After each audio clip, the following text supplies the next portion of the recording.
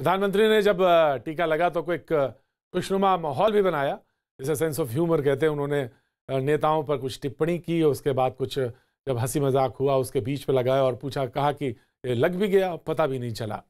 बहरहाल, जैसे ही ये टीका लगा, उसके बाद जो राजनीति का टीका लगा, वो भी कम नहीं था, वो भी बड़ा कारगर था और तमाम जगह उस पर बातचीत शुरू हो गई। और उसी के मद्देनज़र आज जो मेहमान हमारे साथ मौजूद हैं, उनसे मैं आपका तारुफ कराऊँगा।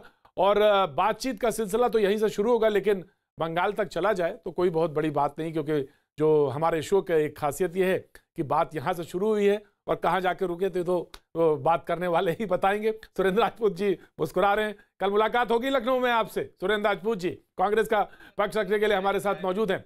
जी जी जी बहुत बहुत शुक्रिया। संजू वर्मा जी हमारे साथ मौजूद हैं बीजेपी का पक्ष रखने के लिए मौजूद है। बहुत बहुत शुक्रिया संजू जी। कैसी हैं आप?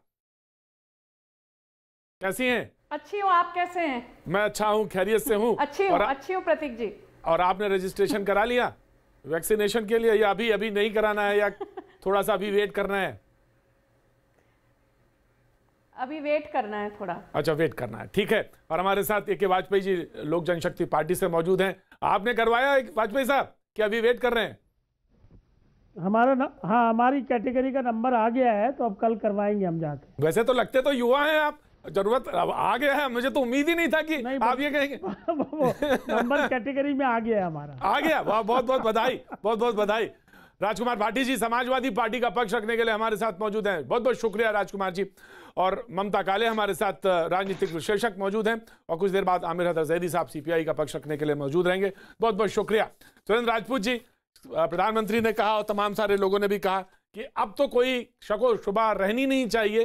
और जो बातें थी वो तो बिसार दीजिए। और आगे आके टीका लगाने का जो प्रोग्राम है, उसमें बढ़ चढ़ कर हिस्सा लेना चाहिए, लेकिन फिर भी कहीं ना कहीं राजनीति के टीके लगी गए। सुरेंद्र राजपूत जी प्रतीक भाई, देखिए, प्रधानमंत्री जी ने वैक्सीन लगवाई, प्रधानमंत्री जी निरोग रहें, स्वस्थ रहे, सतायु रहे, हम लोगों की सबकी शुभकामनाएँ हैं, प्रधानमंत्री जी हमेशा इसी तरीके से हँसते मुस्कुराते रहे। हमारे यहाँ पर उनके टीका लगाने को लेकर के ना हमें हेडलाइन मैनेजमेंट करना है ना हमें हेडलाइन मैनेजमेंट का हिस्सा बनना है, ना ही इवेंट मैनेजमेंट का हिस्सा बनना है। सच बात यह है कि करोड़ों लोगों को वैक्सीन लगने के बाद प्रधानमंत्री जी ने वैक्सीन लगवाई, स्वागत।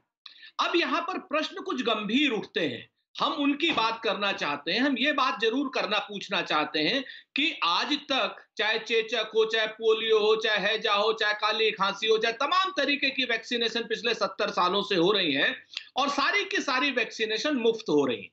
मुफ़्त वैक्सीनेशन है हिंदुस्तान में, वो चाहे कांग्रेस की सरकार ने शुरुआत की हो, हम कांग्रेस का पक्ष रखेंगे, हम उनका उससे लेंगे।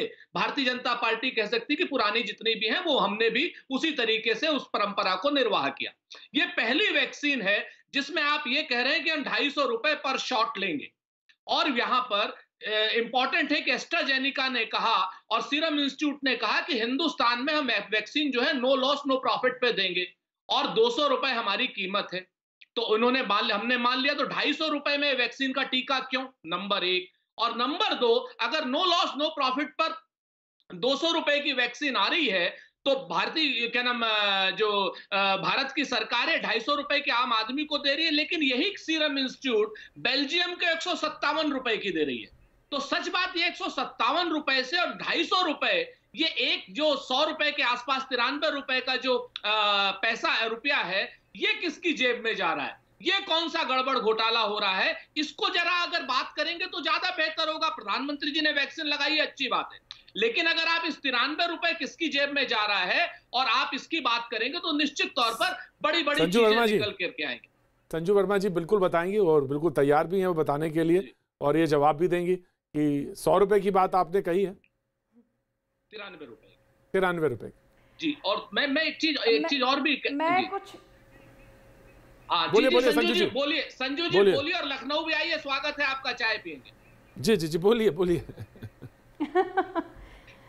जी आ, मैं कुछ तथ्य आपके सामने रखना चाहती हूँ प्रतीक जी जी, बिल्कुल, सुरेंद्र राजपूत जी ने कुछ अच्छी चीज़ें कही सुरेंद्र राजपूत जी ने कुछ अच्छी चीज़ें कही अ, मुझे खुशी हुई कि उन्होंने प्रधानमंत्री नरेंद्र मोदी जी के अच्छे स्वास्थ्य की शुभकामनाएँ दी और अपेक्षा की कि वो दीर्घायु रहेंगे। पर आप यदि प्रतीक जी कुछ टिप्पणियाँ देखें, चाहे वो कार्ति चिदम्बरम की टिप्पणी हो, चाहे शशि थरूर की टिप्पणी हो, या फिर आप हाल फ़िलहाल में अखिलेश यादव की टिप्पणी देखें, नवाब मलिक की देखें एनसीपी से तो एक चीज़ जो बहुत खुल के सामने आ रही है, बड़े साफ़ और स्पष्ट तरीके से वो ये